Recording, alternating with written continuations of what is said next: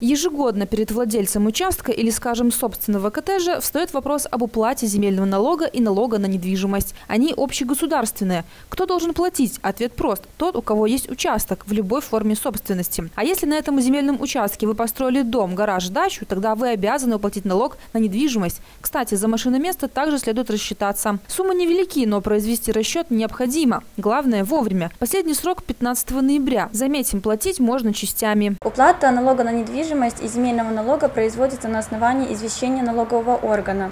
И в целях равномерного распределения семейного бюджета, а также избежания негативных последствий, связанных с несвоевременной уплатой налогов, рекомендуем уплачивать их заблаговременно либо частями. Важный факт. Законом предусмотрен и перечень льгот для плательщиков имущественных налогов. При наличии у физического лица в собственности двух и более жилых помещений освобождению от налога на недвижимость подлежит только одно жилое помещение по выбору физического лица на основании заявления, предоставляемого в налоговый орган. В случае же, если такое заявление не представляется, то льгота по налогу на недвижимость предоставляется по тому жилому помещению, которое приобретено либо получено им собственность ранее других помещений жилых. И это не полный список категорий граждан, имеющих льготы. А для того, чтобы воспользоваться преференцией по уплате имущественных налогов, необходимо в налоговый орган по месту жительства предоставить соответствующие документы. Более подробную информацию по данному вопросу можно узнать, обратившись в налоговую инспекцию по месту расположенного объекта недвижимости и земельного участка.